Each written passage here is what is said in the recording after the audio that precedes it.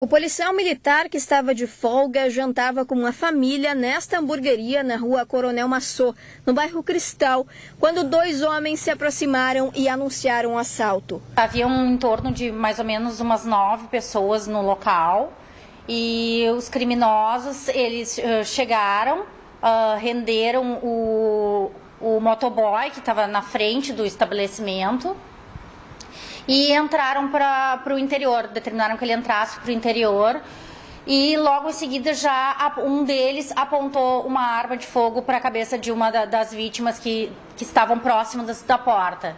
O agente que atua no 11º Batalhão da Brigada Militar sacou a arma e disparou contra os suspeitos.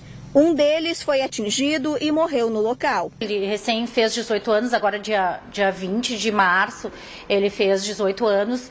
Na condição de adolescente, sim, ele tem antecedentes, uh, três antecedentes por tráfico de drogas. A polícia ainda não sabe se o outro criminoso que entrou no estabelecimento foi baleado, mas ele conseguiu fugir em um veículo de cor branca.